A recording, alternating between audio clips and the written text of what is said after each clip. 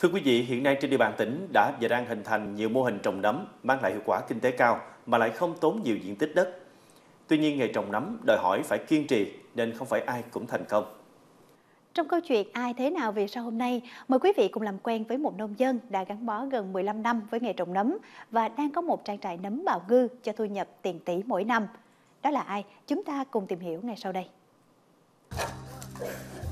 Trước đây, thu nhập chính của gia đình chị Nguyễn Thị Hoài ở ấp 1 xã Tóc Tiên thị xã Phú Mỹ chủ yếu là trồng lúa và cây ăn trái. Năm 2006, sau khi tham quan mô hình trồng nấm bào ngư ở huyện Trảng Bơm, tỉnh Đồng Nai, nhưng thấy mô hình này có thể triển khai tại địa phương, nên chị Hoài đã tìm hiểu sâu về kinh nghiệm và kỹ thuật trồng để mở lối đi riêng. Đầu tư 30 trại trồng nấm trên diện tích 10.000 m2. Mỗi năm, chị Hoài sản xuất 3 vụ, mỗi vụ bình quân 500.000 bịch nấm. Sản lượng cung ứng ra thị trường khoảng 150 tấn. Với giá bán từ 30.000 đồng một ký, chị Hoài thu về khoảng 800 triệu đến 1 tỷ đồng mỗi năm.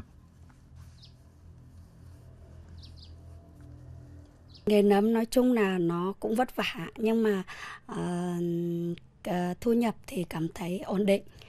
Um, nói chung là công việc thì mình phải cố gắng để tìm hiểu, tham khảo thêm tại thời tiết nó thay đổi.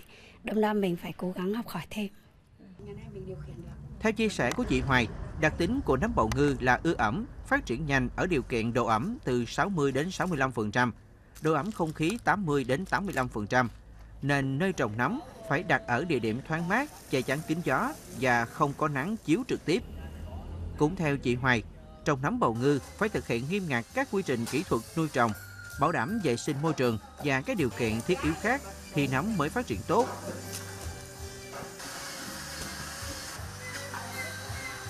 Cái nghề trồng nấm này buộc phải à, cái à, cái môi trường phải sạch sẽ và cái um, ban đầu cái cái cách mình chăm sóc nó phải bảo đảm theo thời tiết nhiều hơn. Không chỉ làm giàu cho gia đình, mô hình trồng nấm của chị Hoài còn tạo việc làm ổn định cho 5 lao động thường xuyên và 7 đến 10 lao động thời vụ với mức lương từ 5 đến 7 triệu đồng một tháng.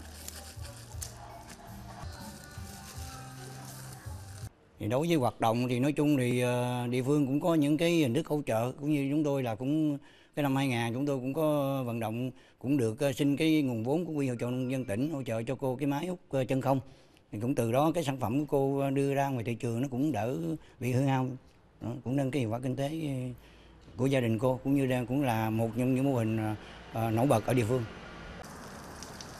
Theo Hội Nông dân xã Tốt Tiên, để nghề trồng nấm phát triển, ngoài việc mở các lớp tập huấn nâng cao tay nghề cho người trồng nấm, thì cũng cần phải hỗ trợ về vốn cho nông dân đầu tư trang thiết bị phù hợp nhằm phát triển đa dạng các chủng loại nấm theo nhu cầu của thị trường.